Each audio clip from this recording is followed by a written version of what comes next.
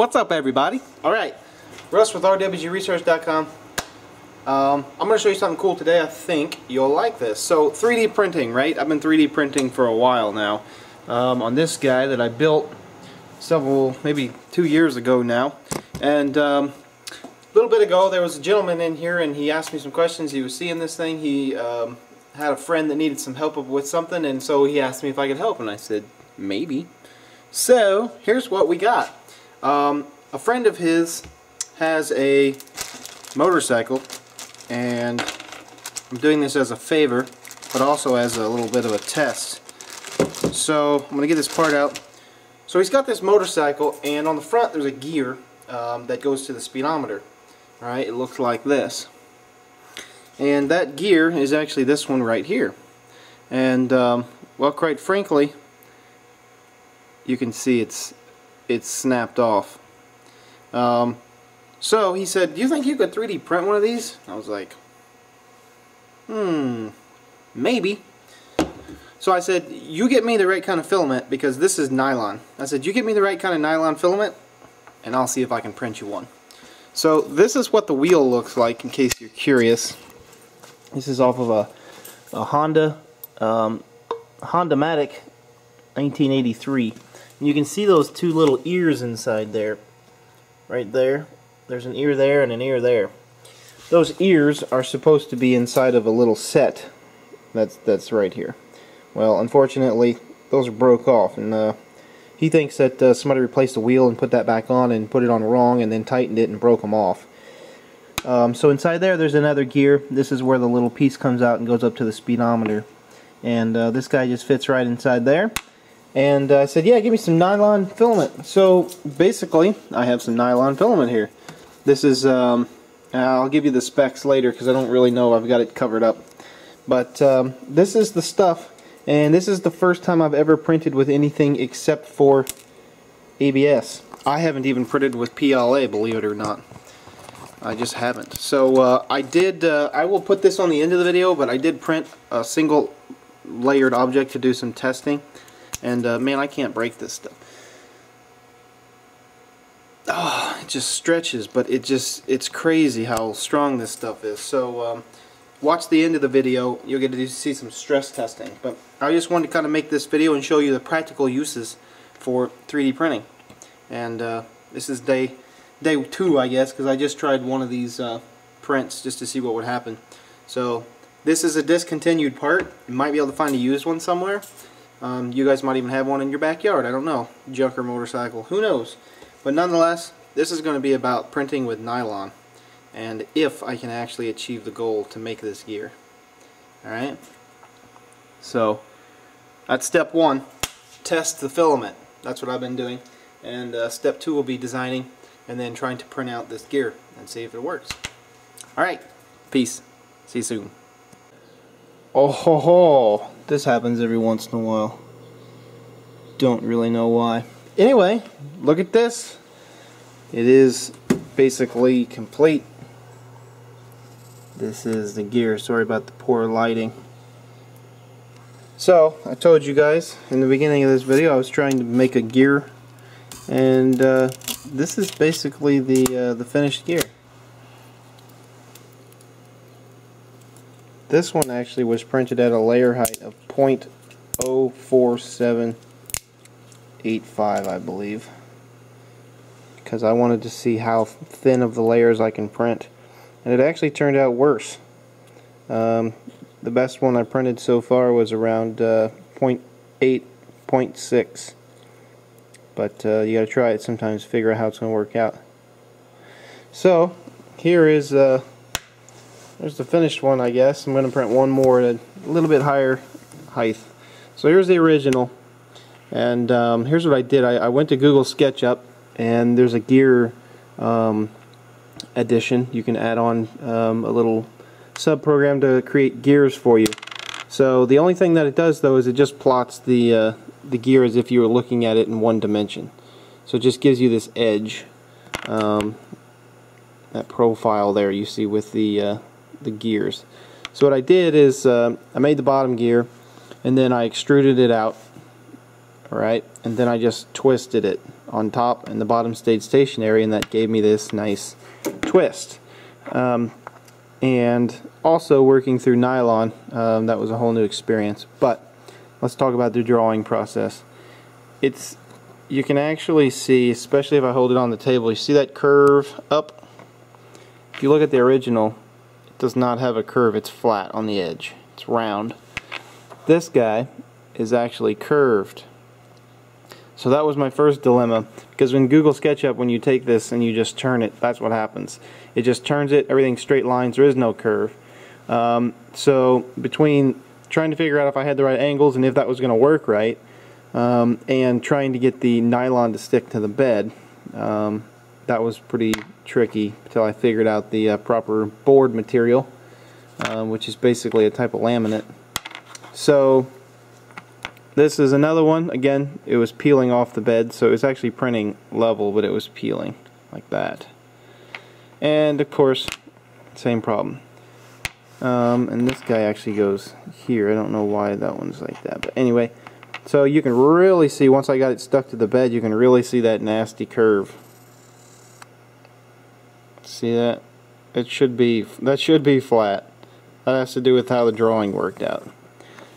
So, I ended up actually taking the drawing and um, actually drawing one I took the bottom the bottom uh, let me put this up here so basically I took the bottom gear and the top gear measured between them took a half point copied just the uh, perimeter of the drawing of the actual gear itself put it halfway between the top and the bottom turned it to where it matched my angle right, and then drew a curved line through every single point in the drawing, and it's pretty extensive.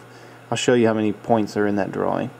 And um, I drew one whole angle piece, one whole tooth at that angle with curve by triangulation. Then I copied and turned it 14.2 degrees until I had made 25 of them around here. Um, I actually happened to do that I believe three to four, possibly four times three for sure. And that was pretty extensive amount of work. Um, but this is a result of missing the teeth. I, I thought I was drawing the right angle and ended up not drawing the right angle. Ooh, not happy. So, I redrew it again, and that's where this guy came about. And it's really, really hard to see, but, um, and it might be this way actually. This guy is actually too too angled. It is hard to see. I colored these so you can actually see them, but you see how they're too much angled? So, um, this is the proper angle. I redrew it for the last time, and you can see that indeed um, it's now flat for the most part. Actually, this one's probably a better example of this. the top is hitting, but it is flat. Um, so it's actually a curved, it's actually a curved gear now, where prior it was not actually a curved gear. The edge is actually curved. You can see it turned out really well. And uh, this is the one I just got off the bed. This is one that um, that uh, I was testing. It's actually too tall, but it's perfect. I mean, it runs so smooth either way. It doesn't take anything to turn that. And there's, you can see there's not much play in there. It's pretty well a perfect fit. So, total success on that guy. And um, pack this full of grease and we'll be off to the races. So, total success. And uh, I do have a lot of uh, other things I'd like to talk to you guys about with nylon, but that's going to come in another video. Um, but basically, I rebuilt my entire hot end to try to accommodate the nylon because it, it uh, the original hot end had extra space in it because it was designed for um, 3 millimeter filament, and I'm using 1.75. So it so Jeff modified it for me because he originally built the uh, original hot end. So he modified it for me so I could put the right filament in it, but um, down in the actual metal part where you couldn't really patch that, you have to make a whole new one. So he just patched the top where the filament would work. There's too much room in there and it would heat the plastic up and nylon wants to expand when it's hot. and so it just expanded out the end and squirted everywhere, which is a bad deal. Also, moisture is a very, very bad thing. Um, if you can keep the nylon in a closed container and just let it come out the top with some uh, absorbent, moisture absorbent material, I think that'd be a better idea. Because I had a lot of problems with printing um, at first where it's not really clear and uh, I did manage towards the end here to get some that were more that were more clear so you know um, lots of stuff with nylon but all in all this actually turned out really well and I'm really pleased with it and uh, I think uh, I think this guy's gonna have his speedometer back. So we'll see. Um, that's it. More coming up later on the the whole idea with nylon and what I did with it, but I wanted to show you, uh, I might even post that first, but I wanted to show you that that was a, a total success, and that is the, uh, the finished gear. The reason that this looks different, you're probably wondering why this is so different. This originally had tabs that stuck up here, which caught the actual um, part in the wheel. I designed it so the tabs just have to lock in here. They don't. They don't have. They can't free float. They have to stay right in here and uh, that was just because I wanted to design this part to be a little bit more rigid and I had to expand this out because um, the gear would want to walk left, right, forward, back, however you want to call it but the gear wanted to walk so I've got this um, precisely measured to where this gear can't really move around but it's still free but just barely and that uh, allows it to free float inside this inside this housing right here this one's actually a bit shorter, you can see. This guy, because that's the finished one. Same as this one. That's the finished one. This is the one with the wrong angle. Anyway, alright, well that's it. Total success. Just want to show you that uh, practical uses with 3D printing. it's the idea here. Alright, peace out. God bless. Leave a comment. Bye. Oh, Phlegm. So, some of you are going to ask me how strong these uh, these little gears are that I made. And, uh, quite frankly, these are test pieces. I was still playing with temperatures and all that kind of stuff.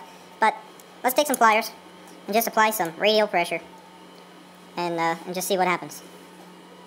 Let's do it like this. Not on there all the way. Now, you gotta remember, these gears are not gonna be, some, they're not gonna be in this kind of environment.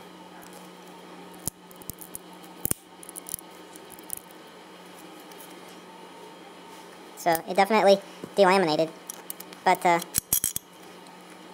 but, it did not break. There it broke.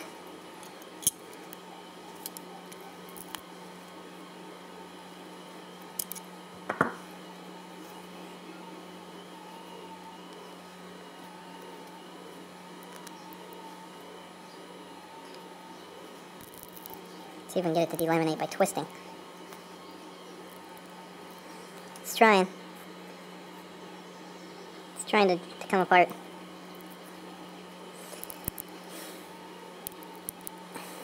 Yeah. Let's do this one again, see if, uh... And this is at random temperatures and stuff, so that last one I printed is pretty darn solid. It's almost completely solid. Let's see if we can break one side.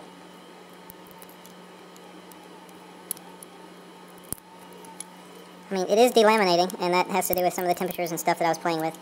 But, uh, but as far as it actually, like, breaking, you know, where I'm bending it, it is not. So, hopefully that gives you an idea of uh, how strong this stuff is. Lamination is going to be your biggest problem here, and that just has to do with temperature and, uh, and your layer height. The last one I printed at 0.04875 layer height. Actually, I can't even hardly flex it. It's actually really solid the layer height was so small that each layer laid down was pretty much melted into the layer before it. So there you go.